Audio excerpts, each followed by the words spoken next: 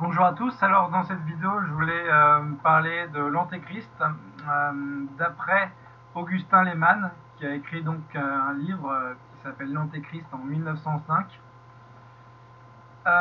donc les références bibliques pour connaître, pour appréhender l'Antéchrist, c'est le livre de Daniel, le livre de l'Apocalypse et le deuxième épître aux Thessaloniciens. Donc, euh, dans, ce livre, euh, Augustin Leman euh, parle des choses certaines, des choses probables, des choses indécises et des choses fantaisistes par rapport à l'Antéchrist. Donc, pour les choses certaines, l'Antéchrist sera une épreuve pour les bons, un châtiment pour les impies et les apostats, c'est-à-dire que l'Antéchrist persécutera les chrétiens euh, et persécutera ses opposants politiques. Autrement dit, il va chercher à, les mettre à mort en fait. C'est-à-dire que les chrétiens devront euh, se préparer au martyr. Euh, bon, après, si vous, je sais qu'aux États-Unis, il y a des centaines de camps de concentration, les camps FEMA, qu'il y a des, des, centaines de milliers de cercueils qui ont déjà été entreposés euh, que l'État, que le gouvernement américain a acheté des, dizaines de milliers de guillotines. c'est assez facile hein, de, se renseigner sur Internet là-dessus. En France, je ne sais pas comment ça va se passer, mais je pense qu'on va devoir s'attendre euh, au retour de la guillotine. Alors, deuxième certitude, l'antéchrist sera un homme, un individu. Autrement dit, je ne pense pas que ce soit une femme. Euh, ah oui, pour revenir donc à, cette dictature euh, qui persécutera les, opposants politiques et les chrétiens, euh, donc ce sera une dictature la, pire de toute l'histoire de l'humanité, ne serait-ce qu'à cause de la puce RFID qui est, je le rappelle, la marque de la bête. Donc il faudra refuser à tout prix cette puce pour éviter d'aller en enfer donc, en fait, si on, enfin, comme on devra refuser cette puce, on sera exclu du système marchand.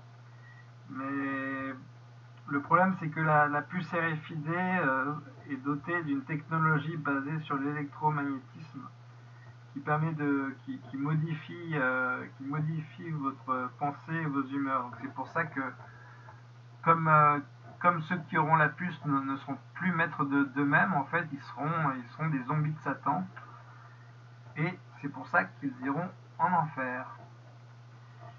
Euh, donc en fait l'antéchrist sera un homme et, un, individu, donc je ne pense pas que ce soit une femme. L'antéchrist ne sera pas Satan incarné ni un démon sous une apparence humaine, mais un membre de la famille humaine, un homme rien qu'un homme. L'antéchrist sera séducteur par certaines qualités de sa personne, effectivement, ce sera quelqu'un de forcément euh, charismatique, et d'ailleurs qui, sera magicien, hein, qui, fera des prodiges, des faux miracles. Hein. Les débuts de l'Antéchrist seront humbles et peu remarqués. L'Antéchrist grandira et fera des conquêtes. L'empire de l'Antéchrist deviendra universel. Euh, effectivement, euh, c'est ce fameux nouvel ordre mondial dont on parle tant. C'est, en fait, c'est la dictature de l'Antéchrist. c'est le gouvernement unique mondial. Et on voit comment tout cela se construit à travers les siècles et ça s'accélère de plus en plus, surtout depuis la Seconde Guerre mondiale avec la, naissance euh, de l'ONU, du FMI, de la Banque mondiale. on peut aussi parler de la Banque des règlements internationaux euh, en 1930. Et voilà, et puis après il y a la construction européenne et de tous les autres euh, blocs continentaux, tous les accords régionaux, tous les accords mondiaux, etc. petit à petit les choses se mettent en place pour la dictature de l'Antéchrist, ce fameux nouvel ordre mondial. Euh, donc, l'Antéchrist fera une guerre acharnée à Dieu et à son Église, c'est ce qu'on disait, hein, euh, préparez-vous au martyr. L'Antéchrist se fera lui-même passer pour Dieu, il voudra être adoré lui seul. C'est au moyen, et je, pense que pendant la dictature de l'Antéchrist, les, églises seront fermées, donc en fait, euh, la seule solution d'avoir les sacrements, ce sera clandestinement, je pense. euh, c'est au moyen de prodiges diaboliques que l'Antéchrist prétendra démontrer qu'il est Dieu. Donc encore, c'est ce que je disais, hein, ce sera un magicien. La domination et la persécution de l'Antéchrist seront passagères. L'homme de péché sera détruit. Chose probable. Donc là, on était dans les certitudes. Maintenant, les choses probables. Première probabilité, les Juifs acclameront l'Antéchrist comme Messie et seront ses auxiliaires pour établir son règne. C'est-à-dire que les, Juifs ont rejeté le, vrai Messie, qui est Jésus-Christ, et ils attendent toujours le Messie. Alors, euh, je pense qu'ils se feront berner par l'Antéchrist. Euh, deuxième chose probable, la durée de la persécution de l'Antéchrist sera de trois ans et demi. Donc ça, c'est pour moi, c'est une certitude en fait, parce que bon, déjà, on, retrouve ce temps euh, à la fois dans le livre de Daniel et dans le livre de l'Apocalypse. Et puis je sais que enfin, d'autres prophètes contemporains, bon, je ne sais pas s'ils sont fiables à 100%, mais tout le monde parle de trois ans et demi. Chose indécise. Hein.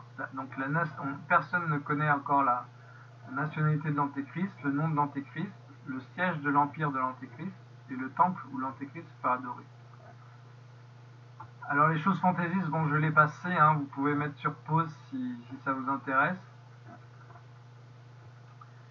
Euh, je, vais juste euh, conclure en disant que l'époque de la venue de l'Antéchrist est incertaine et sa fixation interdite.